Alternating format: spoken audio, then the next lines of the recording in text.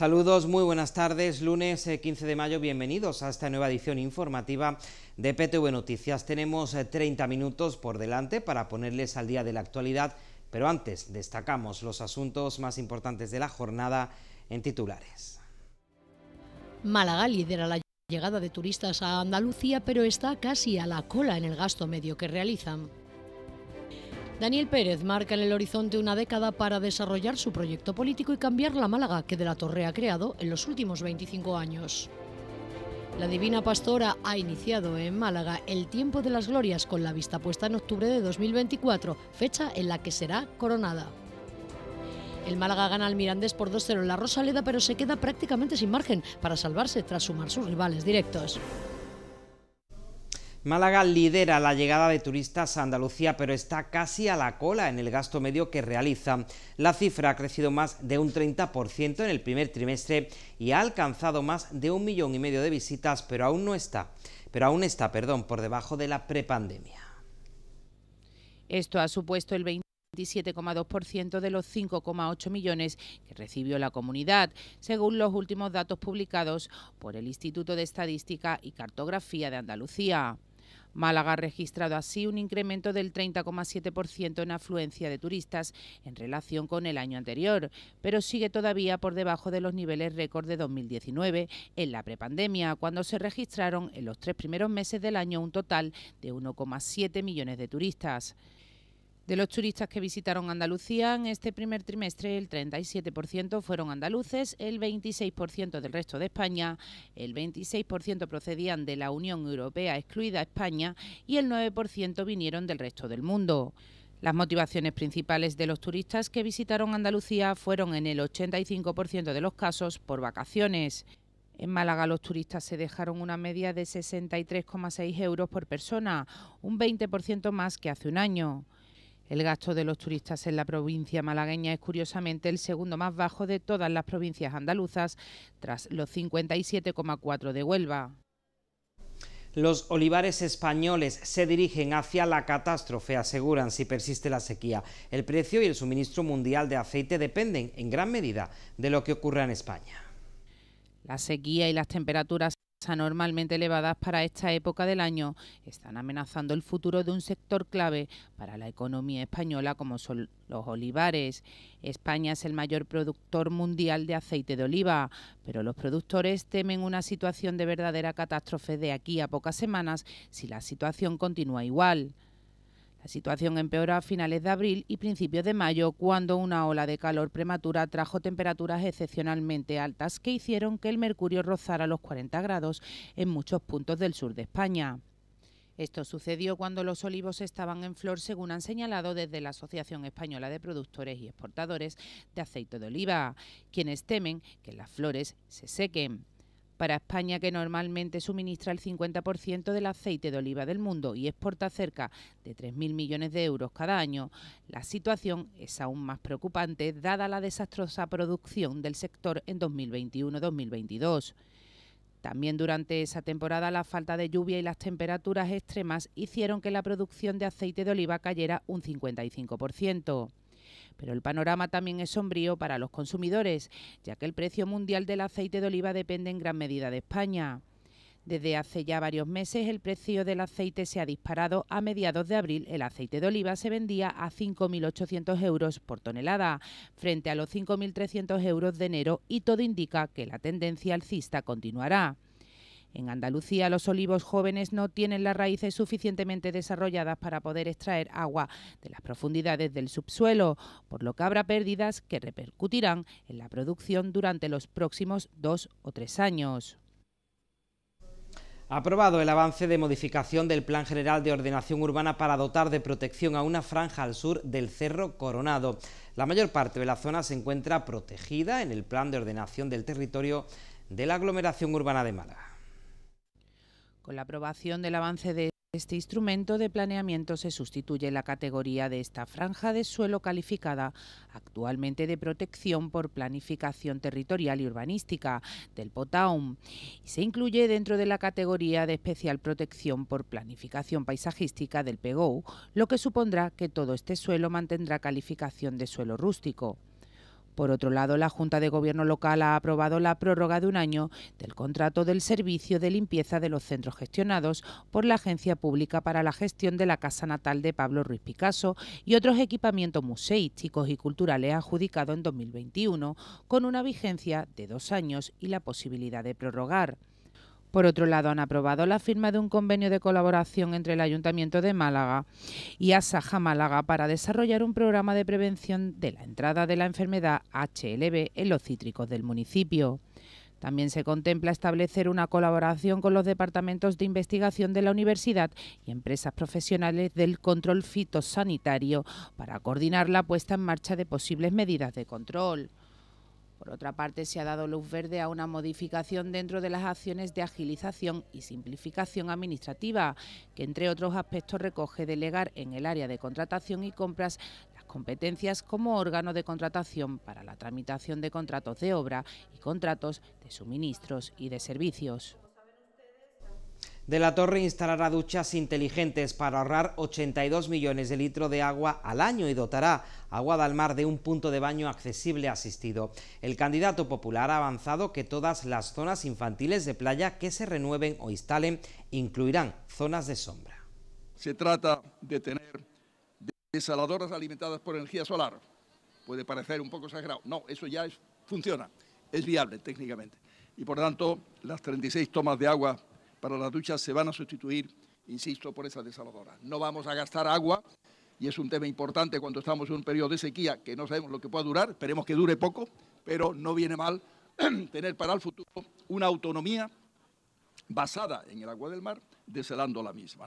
Además, se reemplazarán las plataformas de las duchas y se dotarán de un ancho de 1,80 metros para garantizar la accesibilidad, según ha explicado De la Torre, quien ha incidido en la importancia de seguir avanzando en la mejora de las playas y que sean accesibles al baño para cualquier ciudadano.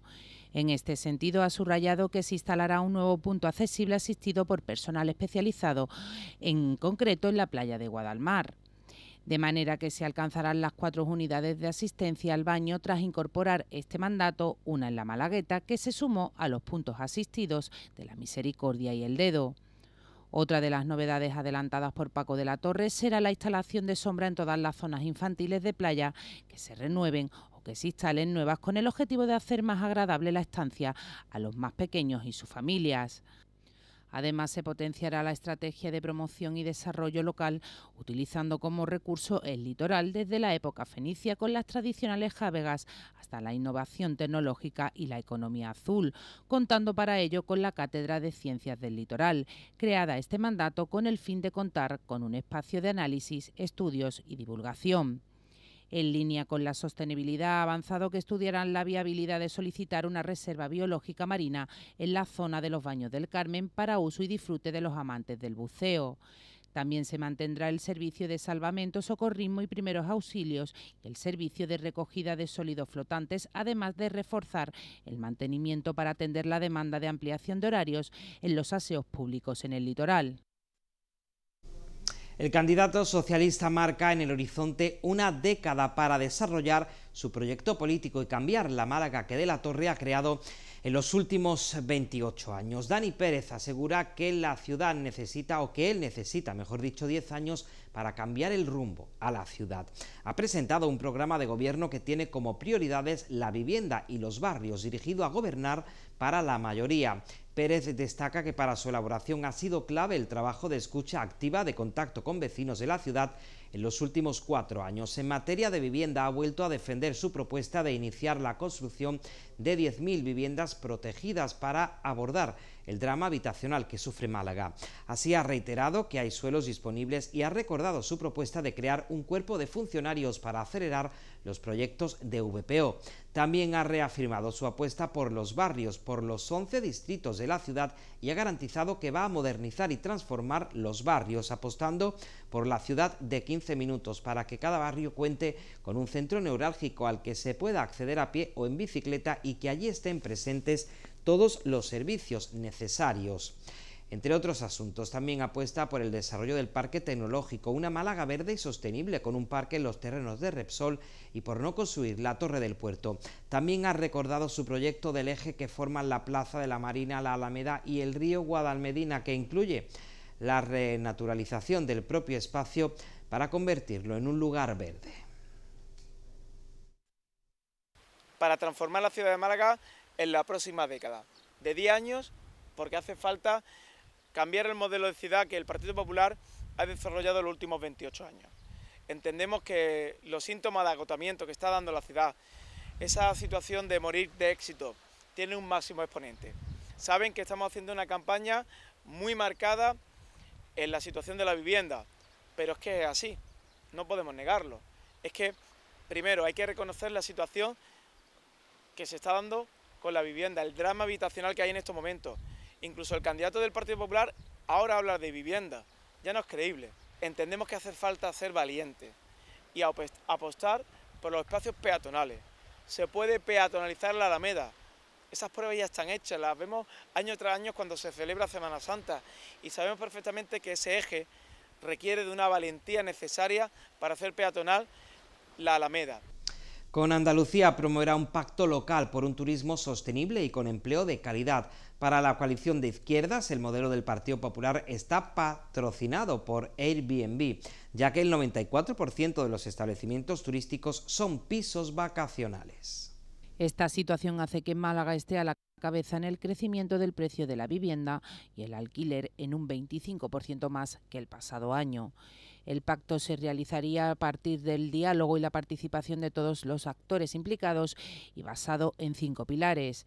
El apoyo a los establecimientos locales, en la paralización de las viviendas turísticas, el empleo de calidad, la reducción del impacto ambiental y la diversificación. Eh, la, solución y la medida de, emergencia y de urgencia es paralizar y que no haya más otorgamiento de licencias turísticas, pero efectivamente tiene que haber una regulación a través de, la modificación del Plan General de ordenación urbana que permita limitar el número de viviendas turísticas que existen en los distritos. Esto es fundamental no solo para eh, controlar lo que ya viene sucediendo en el centro de la ciudad, sino para que este fenómeno no se extienda al resto de barrios de la ciudad. Por tanto, es necesario el que se ponga en marcha esta regulación a nivel municipal. Morillas también ha anunciado un amplio proceso de diálogo con todos los agentes sociales y económicos implicados para no hipotecar el futuro de Málaga y ha criticado el modelo actual del PP. Por su parte, Esperanza Gómez ha sostenido que en Málaga existe una afluencia turística descontrolada que ha de ordenarse, que hay que controlar su impacto en la ciudadanía y en el medio natural. A partir de hoy se inicia una relación entre esta candidatura, que va a llegar muy alto al Ayuntamiento, y el trabajo que hacemos en el Parlamento de Andalucía por conseguir que el turismo, también el turismo del que vive fundamentalmente Málaga, sea un turismo sostenible y sea un turismo que, además de traer riqueza para algunos sectores, traiga riqueza para Málaga y además no expulse a los malagueños y a las malagueñas de sus barrios eh, hacia, hacia otras zonas, porque aquí no pueden encontrar viviendas, porque aquí no pueden hacer su vida. Para la coalición, Málaga es uno de los principales destinos turísticos y es necesario que avancen las áreas fijadas para el acceso a los fondos Next Generation. La eficiencia energética, la sostenibilidad de los destinos turísticos, la economía circular y el control de las viviendas turísticas.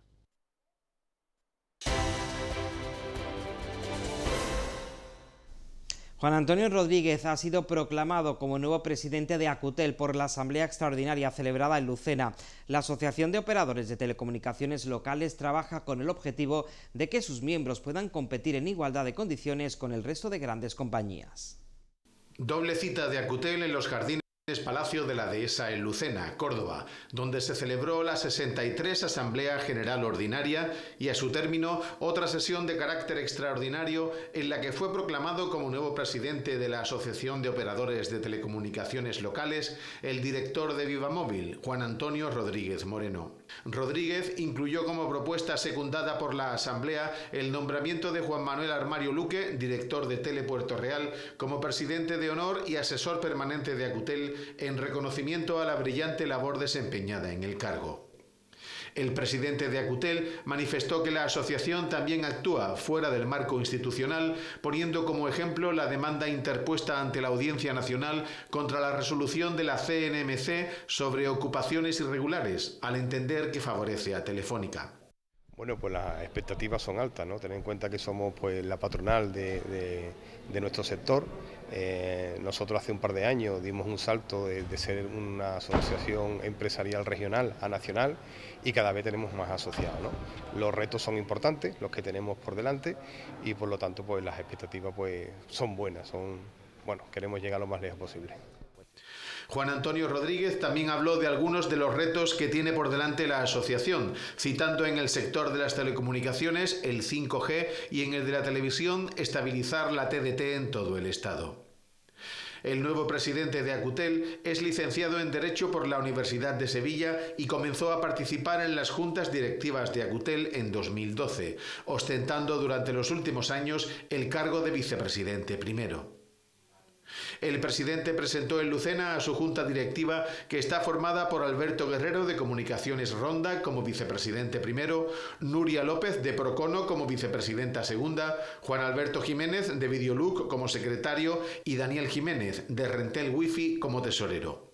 La Junta se completa con cuatro vocalías que estarán ocupadas por Guillermo Ortiz de Tuya Lajanda Televisión, Francisco Javier García de Rúa de Oxón 3, Amelia Carrillo de Procono y Cele González de Telepalma.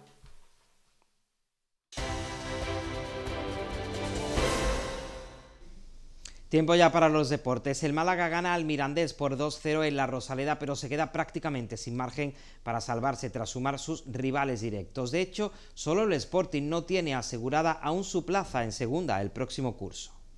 Y es que prácticamente todos sus rivales directos están matemáticamente salvados. Zaragoza, Leganés y Racing ganaron sus partidos, mientras que Villarreal B, Huesca y Sporting sumaron un punto.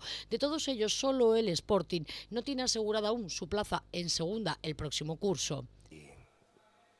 La vida como en el fútbol puede pasar cualquier cosa y la fe es lo último que se puede, que se puede perder. Yo no, gente que no tiene fe, no quiero confiar. Entonces está claro que es muy complicado, todo es así, pero hay un mínimo mínimo 0,01 será, pues, pues nada, intentar sobre todo pues aferrarnos a, aferrarnos a ello. Pero de responsabilidad, no de ilusión, porque hay que, hay que tener los pies en el suelo. Así las cosas, si el Málaga empata o pierde en Vitoria ante el Alavés, se convertirá inevitablemente en equipo de Primera Federación. Además, si el Sporting suma un punto en las dos jornadas que restan, se acabó el crédito para la salvación del conjunto blanquiazul. Las cuentas no dejan lugar a dudas y tanto en el Club de Martíricos como en el seno de la afición son conscientes de la realidad. Eso sí, nadie duda de la mejora del Málaga tras la llegada de Pellicer al banquillo de la Rosaleda. De hecho, ha sumado 13 puntos de los 18 posibles en los últimos seis encuentros. El Málaga tiró de honor este sábado para ganar 2-0 al Mirandés en la Rosaleda con tantos de Escasi y Lago Junior, ambos de cabeza, aunque con pocas posibilidades. El Málaga llega vivo a la penúltima jornada, que se juega en horario unificado el sábado a las seis y media de la tarde. El vestuario del Málaga se agarra al hilo de esperanza que le queda al equipo para salvarse. Lago Jurion y Escasi, autores de los goles frente al Mirandés, hablaban sobre la mejora del juego y agradecían a la afición el apoyo que le ha mostrado pese a los resultados. Te puedo decir también el tema de la grada, al final es normal, ¿no? Eh, ya ves que en el minuto uno pues te empiezan a silbar pero al final se agradece porque cuando han visto que el equipo se estaba dejando todo, el equipo estaba apretando arriba, al final nos han animado, ¿no? Entonces eso se agradece. En la situación que estamos nosotros no es fácil, ¿no? No es fácil, pero el equipo ha sabido competir, ha dejado todo y al final nos hemos llevado los tres puntos. Los principales responsables de la situación somos los jugadores. Pero igual antes no, no hemos sabido dar con, con la tecla pero donde voy es que no estamos tirando la toalla, los jugadores, como yo vengo diciéndolo cada hace tiempo, el día a día estamos entrenando eh, súper bien, los jugadores se dejan la vida cada partido y cada entrenamiento, pero los resultados no, no se nos estaban dando bien, cosa que, que ahora en este tramo final pues sí se están dando. Y el Unicaja, cuarto de la Final Four de Basketball Champions League tras ceder ante el Lenovo Tenerife por 79-84. El equipo malagueño remontó una desventaja de 14 puntos, pero acabó cediendo en el último suspiro. El Telecom Bonn se proclama campeón tras imponerse al Hapoel Jerusalén por 77-70. La Cenicienta y TJ Short se coronan en la Final Four celebrada en el Carpena. El Telecombón logró el título continental tras dominar al Japoel de Jerusalén 77-70, en la que el base americano con 29 puntos se alzó con el MVP del torneo. Por su parte, el Unicaja, con el factor cancha a favor y en un gran momento de forma, no pudo superar al conjunto alemán en las semifinales, en un duelo en el que la falta de acierto final condenó a los de Ivonne Navarro para acabar 67-69. Un encuentro no exento de polémica tras conocerse que un asistente del equipo alemán siguió la señal televisiva del partido en vivo desde el banquillo para desgranar los planes de ataque y defensa de los malagueños. Ya el domingo, en la lucha del tercer y cuarto puesto entre el Unicaja y el Lenovo Tenerife, se vio un partido marcado por el alto ritmo anotador de inicio que llevó a acabar el primer cuarto con un ajustado 29-31. El desacierto malagueño hacía mella en el marcador ampliando la ventaja a los canarios por medio de Jaime Fernández en una dinámica que no mejoraba para llegar al descanso con desventaja 38-53. Kravitz y Vizuela trataban de transmitir la energía a los malagueños pero encontraba réplica Lenovo Tenerife. El intercambio de canastas beneficiaba a los canarios que mantenían las rentas en un cuarto con bajo ritmo anotador 52 66. A falta de 12 segundos, tras anotar Perry un tiro libre, Dornekamp sentenció con un triple que daba el tercer puesto al nuevo Tenerife tras vencer 79-84 al Unicaja. Kendry Perry, el mejor de los malagueños, con 22 puntos, 3 asistencias para 22 de valoración. Este domingo Unicaja vuelve a recibir al nuevo Tenerife en el Carpena en un nuevo compromiso, esta vez de Liga ACB.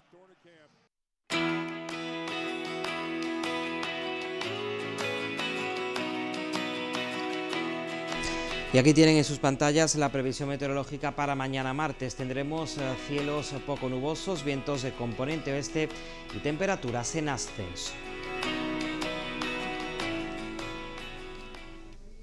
Un apunte más antes de despedirnos. La Divina Pastora ha iniciado en Málaga el tiempo de las glorias, con la vista puesta en octubre de 2024, fecha en la que será coronada canónicamente. Salió el sábado en procesión por el barrio de Capuchinos tras haber sido sometida a un proceso de restauración y limpieza. Como estrenos destaca una ráfaga dorada que ha sido restaurada para que la Virgen pudiera lucirla en procesión por primera vez, en lugar de llevar la plateada. El acompañamiento musical corrió a cargo de la Unión Musical Maestro Eloy García, que interpretó por primera vez tras la patrona de Capuchinos y del Deporte la marcha Reina y Pastora de Cantillana. Con esas imágenes nos despedimos, nada más, gracias por su atención, buenas noches, que descansen, hasta mañana.